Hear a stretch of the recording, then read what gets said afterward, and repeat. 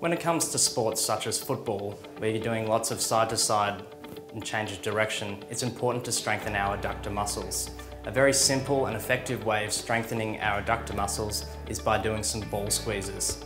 So to demonstrate, all we're going to be doing is bringing our knees up, make sure that they're hip width apart.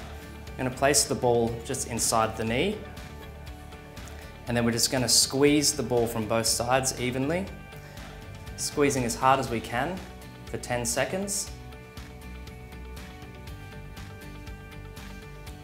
And then relax and repeating this 10 times.